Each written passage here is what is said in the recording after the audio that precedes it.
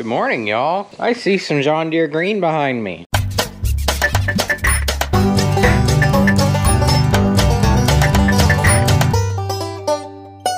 So, turns out we got quite a bit done last night. I see a couple of spots that need a little bit of touch up. Otherwise, it looks pretty nice, I'd say. The stakes need a little bit of work on the inside, but I think that's a job for a rattle can because I just can't really get my big spray gun in there. One thing that I do have a bit of an issue with here, if I can find it, is uh, we are pretty much out of green. So that's a bit of a problem. There's a little bit down there in the bottom. So we're gonna see if we have enough to finish the uh, other side of this axle here. It's got a couple spots on this side that I think I'm gonna quick touch up with some spray. Yeah, I'd say it'd be pretty much done. I'm hoping to have this whole thing put back together like tonight. It's currently about 10.30 in the morning, so hoping about 8, 9 o'clock tonight everything will be dried down and we can put it back together.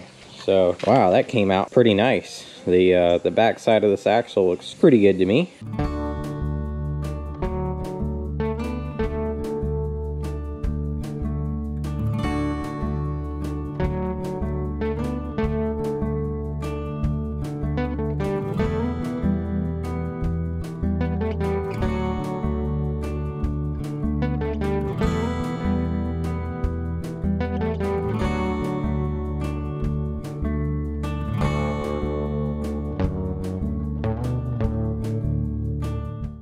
There we go. With the help of the rattle can, I was able to pretty much finish this thing. So I ran out of paint on the big sprayer, unfortunately. So time to get that cleaned out and at some point get another quart of John Deere green. But uh, otherwise, I finished up the last little bit with that rattle can and it looks okay to me. Pleasantly surprised. So I was going to go ahead and paint all the uh, nuts and bolts. And um, I mean, this isn't obviously the ideal way to do it, but I'm just realizing that these are going to get chipped up over time very easily, and this paint chips off pretty easily. So, probably won't paint all the nuts and bolts. I don't know. We'll put the hardware on, see how it looks, and uh, if I decide that it should be green, then we'll figure out a method there. But right now, the main goal is just to get this friggin' thing out of this space because it's in the way. Um, and the lumber is as well, and that canoe and those tree stands over there. And we want to get this whole barn cleaned out under here so that we can park vehicles in here and use it for its intended use because it's really not supposed to be a uh, restoration area. That's just where it became convenient to do it at the time. So yeah, I'm gonna let this stuff dry off. We're going to see how it really turns out. Any touch-ups that need to be done will be done then. I'm gonna go see if I can get some new tires put on those wheels because I saw FedEx down the road today and FedEx is who is supposed to be delivering my tires today. So if they're there, then uh, I'm gonna go load up some wheels and tires and run to the tire shop. Well, y'all, the new skinnies are here and they are skinny. They are skimpy little tires, but this is what it's supposed to need. So seven and a half by 16 SL. So these are supposedly 16 inch wheels and I mean they are pretty scrawny little wheels so supposedly this is what I really need to put on it. We'll uh, we'll see how it works out and the nice part about buying these from Simple Tire is as long as I don't mount them which uh, they may or may not know if they were mounted um, I can ship them back if they don't work out for me. So yeah if we've got to that's what we will do. All right it is a dreary, awful looking morning here, but we're out here at the wagon, which I'm hoping to have finished so that we can move some round bales with it this week. The tire shop did not finish the tires yesterday. Kept having vehicles showing up that needed actual work done on them, so those took precedent. They did not get my implement tires done. So we're waiting on those. They said they'd have them ready this morning, but I'm gonna wait till this afternoon to run back up there and take a look because uh, I want to give them time to actually get it done and I don't want to waste another trip up there. I've been up there. This will be my fourth time. So they don't have a, a, phone or anything. This is just a little hole in the wall shop in town that does them for real cheap. So I don't need anything fancy done. I'm going to have to respray the wheels in some yellow. I already know that much because uh, I saw some of the work that they were doing in there on them and uh, they had chipped them up pretty bad. So not a big deal. Just uh, put some yellow spray back on them and clear coat them and they'll be good as new. But uh, the base coat's done. So this morning I started taking all the I started taking all the tape off everything that I taped off, the grease zerks and dust covers and all that fun stuff. I might put new grease zerks on. I don't know. I mean, if these ones work, then what's the point? So we'll see there. I did have a couple of places that when I was maneuvering this thing around the paint on both sides of it, um, it had gotten chipped up so I had to respray the back axle here in one spot. And like right here this is actually a little bit light looking so I might go back in and respray right there just a little bit. That's what I'm doing right now. So got some watermarks here trying to bubble up so that's no fun i'm just respraying a little bit the next thing i'm going to do is try and start reassembling this thing not going to be fun to do with uh with no tires or wheels but I'm going to reassemble it as much as I can. Put the stakes back on and put the reach pole in the middle and put the jaw bar back on the front. And uh, hopefully this afternoon I'll just take my jack stand and jack it all up and uh, throw some wheels on it and we can get it moved out of here because we need this area cleaned up.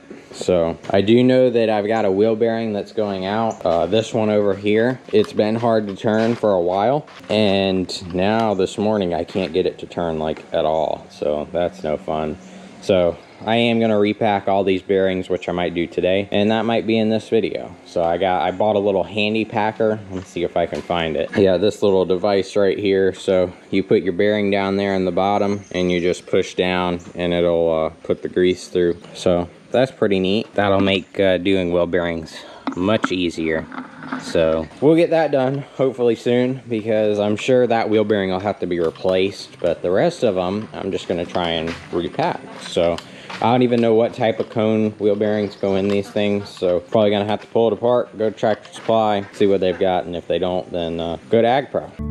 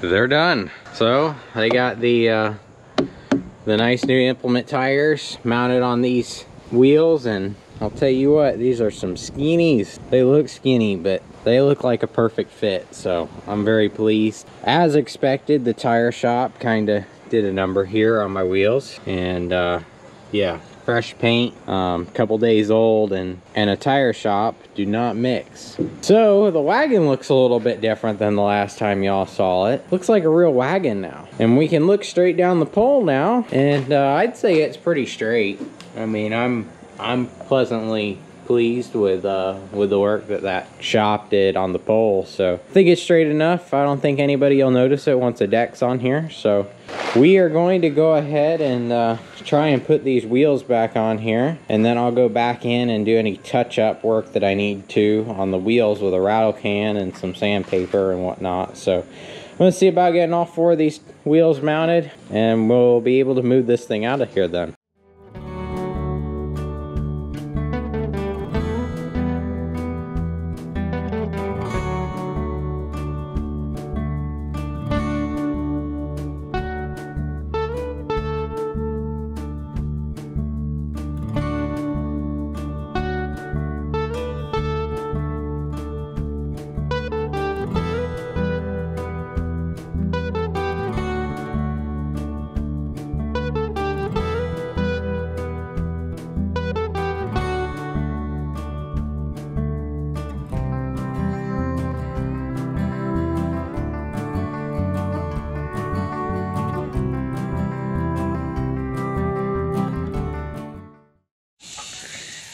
Excuse the squinty eyes. It's a little bit bright out today, and I don't know where my hat is right now. But behind me is our pretty much completed wagon. Or running gear, I should say. It doesn't really have a wagon on it yet. So I tried to record most of the process yesterday, getting these wheels put on and all that sort of stuff, everything back together, but I feel like I did kind of a shoddy job doing that. But we are back together and fully operational. So a couple keynote things here that still need to be completed are um, the wheel bearings need to be repacked, which uh, I'm fixing to do right now before it gets way too hot out here, which it's pretty hot already this morning.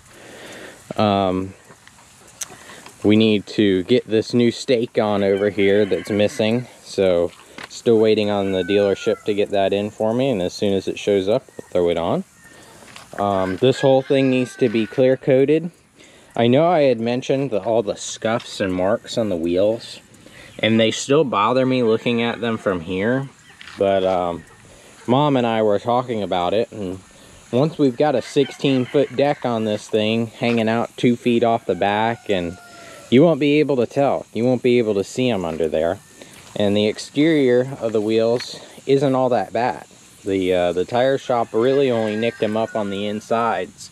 There's a couple of spots in here, but you know, over time, uh, these are going to get beat up anyways, running through the woods, hitting sticks, dragging stuff, who knows. So it's probably not worth the time to, uh, to clean them up, honestly.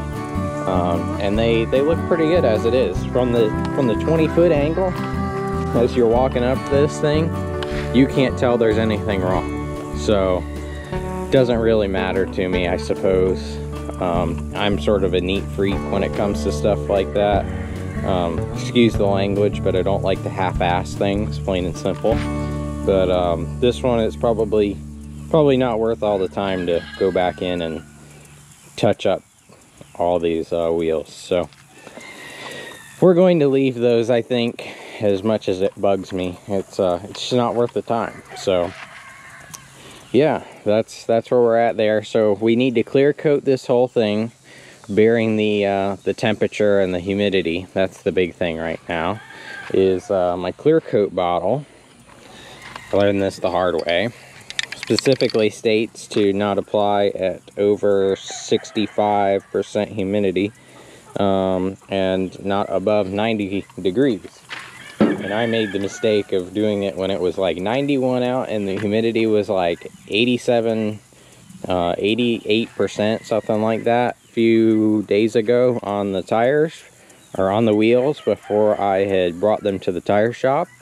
And a bunch of spots they all spider webbed and cracked out and everything else. So don't want to ruin my paint job on this thing so right now we're just waiting for it to be below 90 degrees outside and below 65% humidity which I think this afternoon once it's kind of dried out and this hot hot sun's been out for a while it'll be somewhere under 65% humidity and below 90 degrees. So, um, yeah, we'll get some clear coat on today. After we've gotten our clear coat on, we get to do the part that I've been the most antsy for. We get to put all our logos on. So we have got an era accurate John Deere logo that's going to go where it was supposed to right here in this front corner is where they had it placed um, originally. So we're going to put one right there.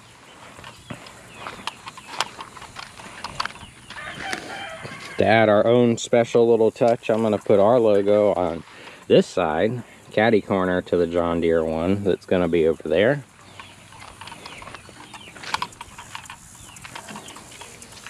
On the back in big yellow letters, um, this is actually the correct font and size and everything. I was able to find it on eBay. Fuel Graphics, if you want to look them up. Little shout out.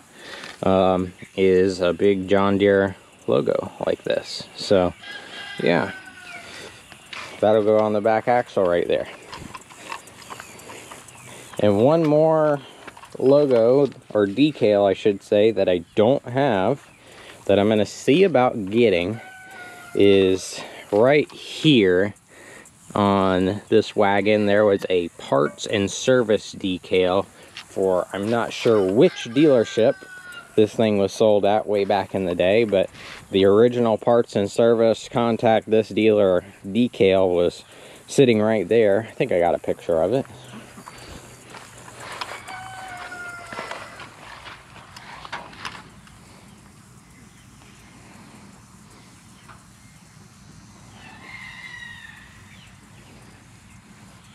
Yeah, so there it is. Might be kind of hard to see, but that's what it looked like on the wagon. And you could tell it said parts and service with the John Deere logo and supposed to be somebody's dealership name. And I actually found somebody else who had one of these on their piece of equipment.